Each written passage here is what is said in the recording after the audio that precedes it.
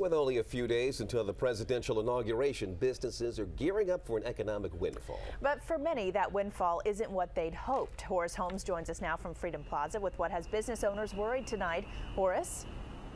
Well, businesses like the Willard Hotel here behind me are putting their final touches on the preparations for inaugural weekend. They just aren't sure how big the crowds will be, but they have to prepare and they have to hope for the best. Business is brisk for the lunch rush today at PJ Clarke's restaurant just down the street from the White House, but they are expecting even bigger things during the inaugural weekend. We also will have a big tent outside. We'll have a beer garden out there. Manager Scott Shirley believes, compared to last year at the same time, this weekend business will double. Being so close to the White House and the parade route makes him confident that all the people in town for the festivities will make their way here.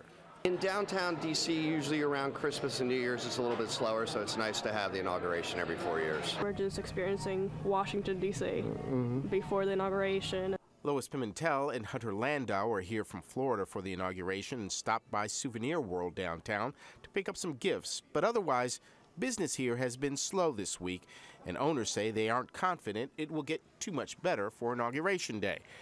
They aren't the only ones not sure what to expect. The big pomp and circumstances they usually go through, they've cut back on, so people aren't coming as much. At the Marriott Chinatown and at many hotels in town, they are worried. Reservations are up for mid January, but they thought they would have been sold out by now. Inaugural festivities this year are scaled back over four years ago, and the two official balls will be held in one spot, the convention center. The businesses that are around the other spots are able to be open for business and have private parties. Right here on the corner of 14th and Pennsylvania Avenue should be a very popular spot during the inauguration.